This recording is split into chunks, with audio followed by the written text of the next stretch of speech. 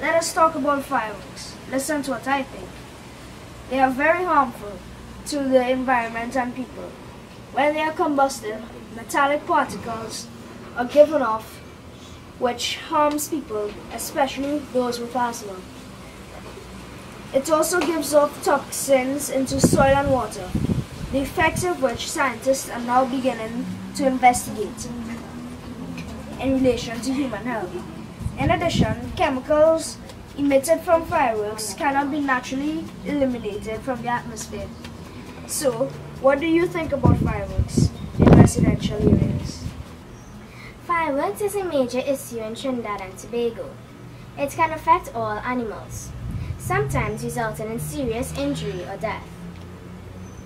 Fireworks also hurts the ears, makes them become disoriented, and they may even run away making owners unsure about their whereabouts.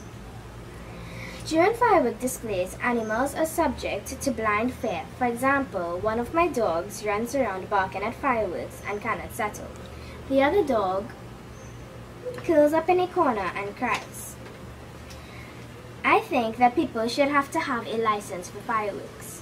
There should also be special, non-residential areas for fireworks to be set off so that you do not disturb any animals. There should also be designated hours for fireworks. For example, 7 p.m. to 9 p.m. After this time, no more fireworks must be set off.